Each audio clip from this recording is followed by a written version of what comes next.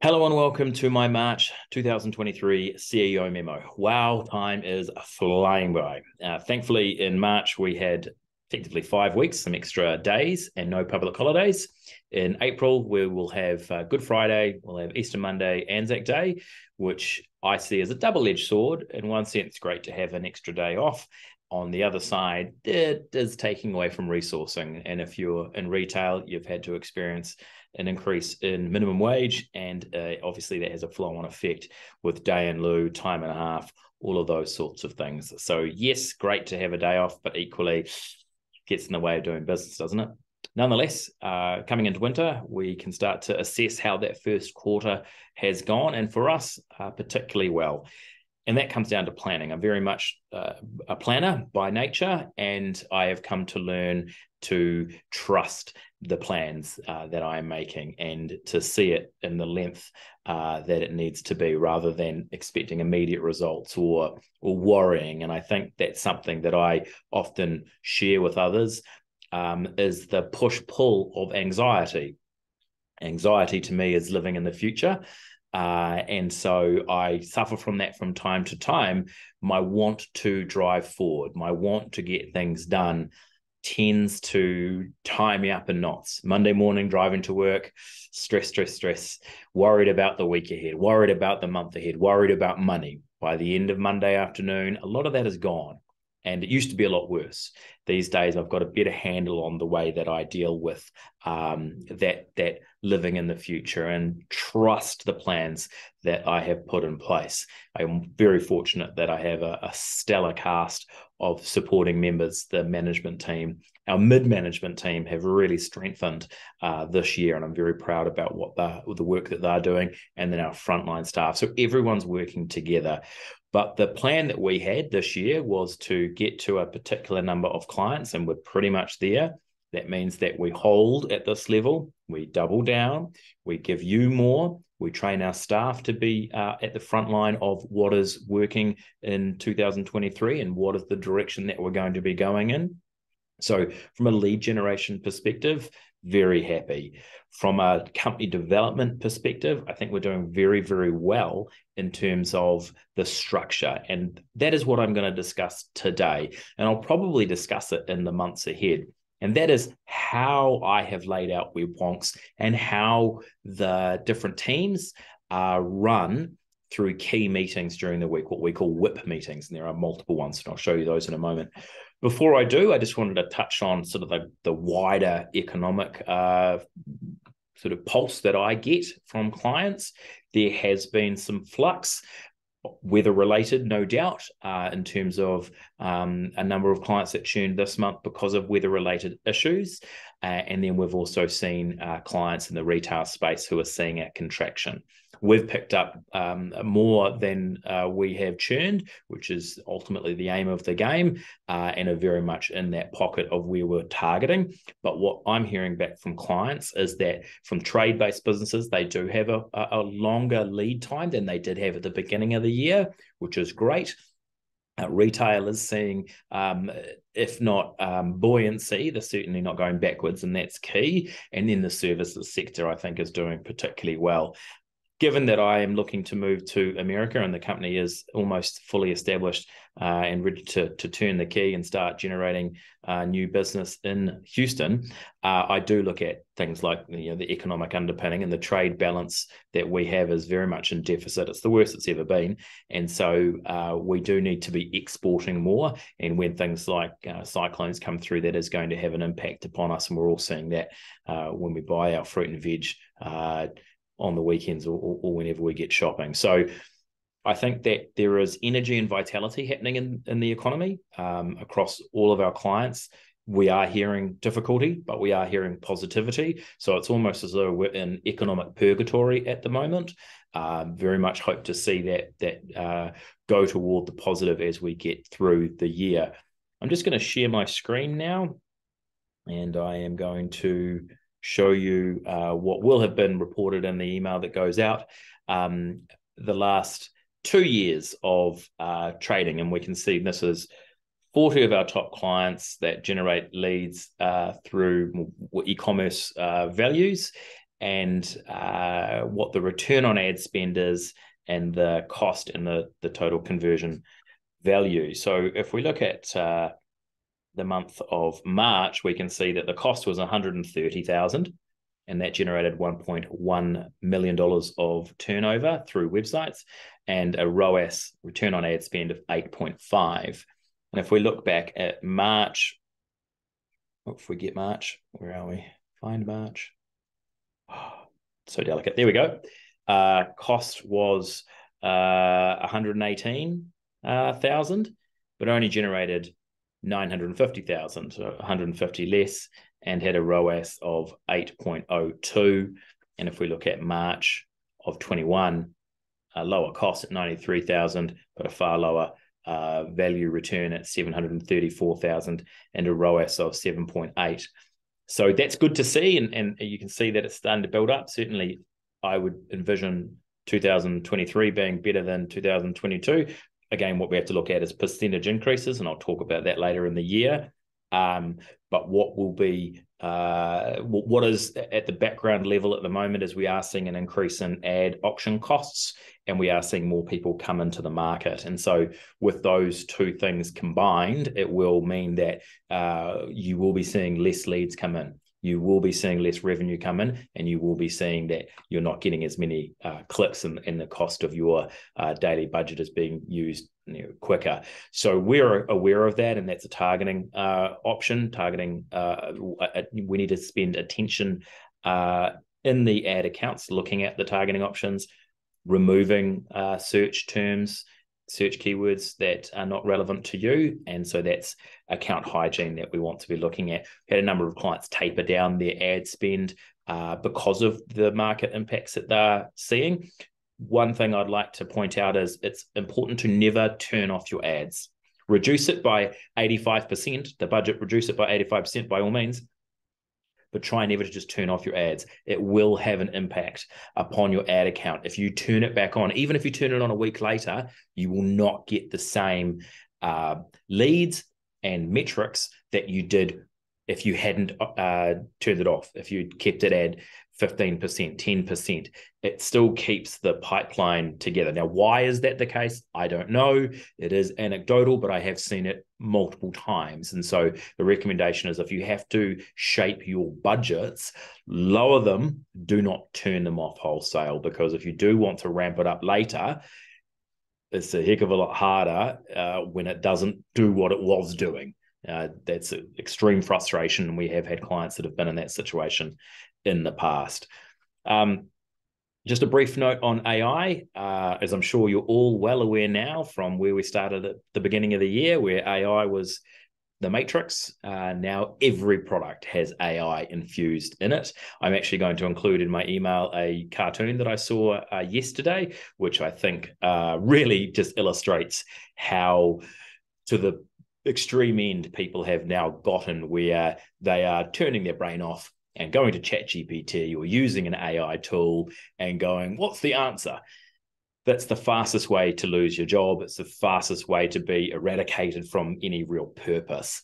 Uh, we, as governors of intellect, need to use AI as a tool, not outsource our intellect. And for you and your teams, become the managerial class do not become subservient to the AI. Yes, it makes our life easier, but if you put every single thing you do uh, through AI and ask it questions on things you would have had to have otherwise thought about yourself, what what do, value are you bringing? It's probably more a question for our staff that we need to ask them.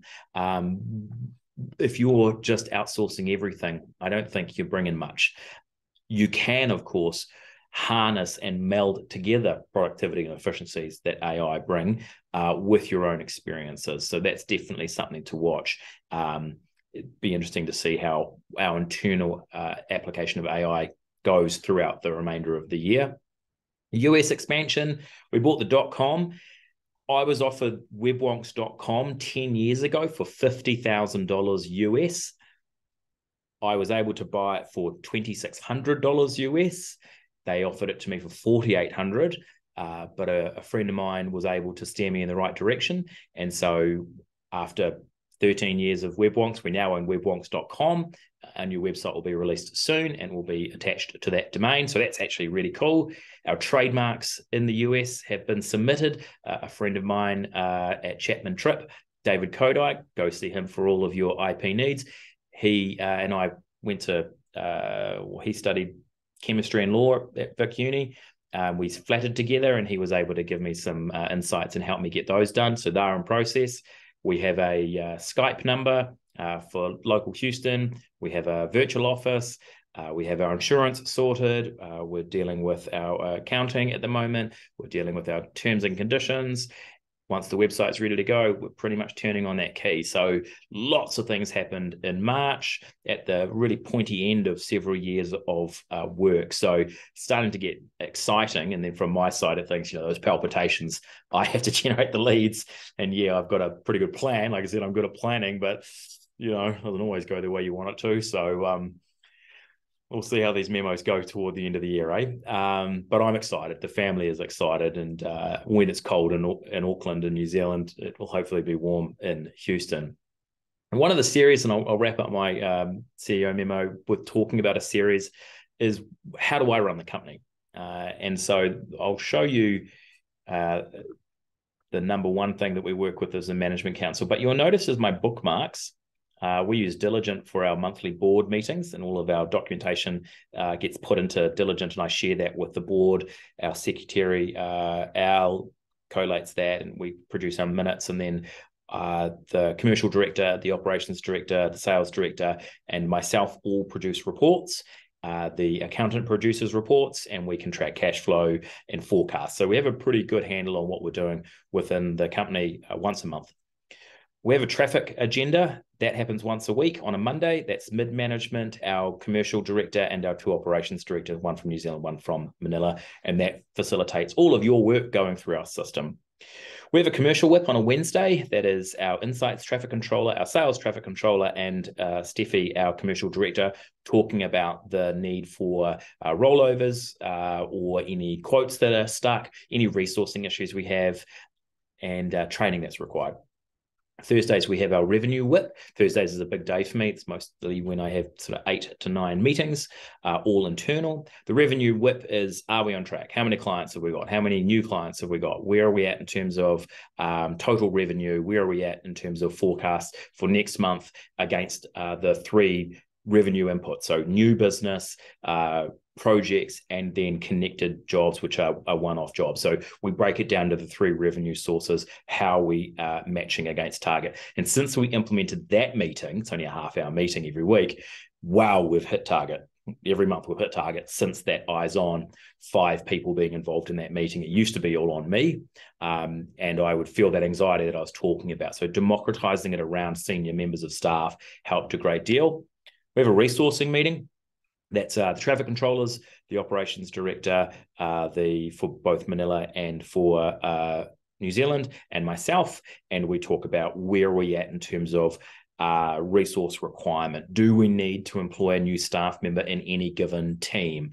We work on a basis of uh, 85 to 92.5% uh, is in the green. Um, anything above 92 and a half is in the red. And so we need to maintain well actually it's green orange red. Anything above 92 and a half we're starting to strain our ability to deliver to clients. And so we have pretty clear understanding of where our months ahead are going to look. So we're employing people ahead of time. That's a really key meeting. We have the management council should be here. This is the one i'll briefly explain today um, and you'll see what goes on in that our management executive, which is our smaller group of uh, team members. It is um, the operations director in New Zealand, our technical director, Raja Sharma, um, our uh, commercial director, and myself. And we talk more specifically about profitability, any staffing issues, any external issues that we may need to address that we don't want to take to a wider group. And we, as an executive council, are responsible to the board. Sales WIP, Uh, look, that's pretty straightforward. The two that I haven't included here is the operations WIP and the insights WIP. Those are the teams WIPs. So the insights traffic controller, operations traffic controller, and sales traffic controller runs those meetings and has their teams uh, discuss what their agendas are, where they're needing to go. It's an opportunity for the back and forth of those staff to bring things to the attention of mid management. Mid management can obviously then bring it to senior management. I have a weekly development meeting uh, with our uh, developers, and that's where we work on our model. It's where we work on our US expansion. It's where we're working on the AI integration. And then we have a marketing WIP. Marketing WIP, I'll talk about next month. I think it would be really important to be able to showcase to all of the clients about how we use digital, how we're using YouTube. Uh, and this, is, this, will be a YouTube video, obviously, and what kind of engagement we're getting off of that.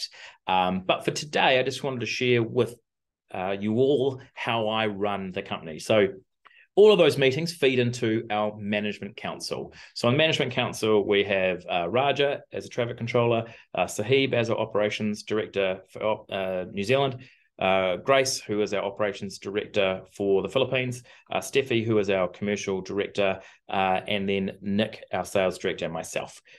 So we have a, a company focus. Typically, that's going to be um, a mixture of revenue and internal sort of training and resource. And so, what are we looking at? And then we have subsets for the individual teams. What are we working on there? We have our, our, sales director who then goes and adds current sales figures, lead generation numbers, and relevant details. Now, what we've made this meeting really be about is this should be a pre-informed agenda and we're making decisions off the back of that so all of those meetings feeding into this singular meeting allows us to make decisions having already observed what's gone on throughout the week Marketing, that's me. I'm the lead there. Uh, and I add current metrics about the company marketing, changes in brand position, details, renew content, relevant changes about the company. The revenue meeting, uh, the lead is the commercial director, and we have a support, which is the technical director. And that's just talking about current metrics about client numbers, potential churn, upcoming rollovers, and relevant impacts to revenue resourcing led by the operations director and supported by the technical director. And that is to add current resourcing picture and discuss department issues review internal training programs and relevant impacts to resourcing. Traffic is uh, led by the operations director in the philippines and supported by the technical director. And that's to discuss allocation issues client issues upcoming additions to master product templates which are ip and details relating to week to week delivery of workflows Commercial, led by the commercial director. And the purpose of that is to discuss the current data health kit sales, upcoming rollover quotes, and connected quotes, plus potential client issues and staff issues. Uh, HR, that's all of us working to collaborate, and that's to discuss any staff issues, staff leave requests that require larger sign off. Most are dealt with at the traffic level, and staff equipment requests. And then we have any other business. So that's again all management uh, team members, and that's to address any outstanding issues this meeting quite critical, but it's it's the hub.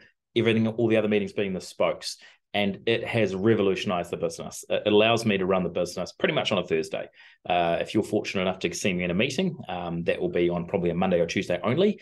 And uh, those are the days that I've assigned to New Zealand. Uh, on a Wednesday, I deal with the US. On a Friday, I deal with innovation and, and mop up the rest of the week. So Thursdays is a time where I can make decisions and answer the key questions that are being asked of me by the management and by mid management teams. So I thought a little bit of an insight as to how we run the company uh, and how we've evolved uh, might be useful. Next week or next month's uh, video might be more insightful because I'll talk specifically about our marketing uh, WIP and what we're discussing for our own marketing. And that might have a direct bearing upon everyone that we work for because we're doing digital marketing for ourselves. We're doing digital marketing for you. Probably, you know, if we're doing it, you would want to look at it too. I don't know how long this video is, probably longer than I intended. So if you got through this far, thank you very much. Have a wonderful April. Uh, happy Easter. Uh, and I will see you next month. Go well.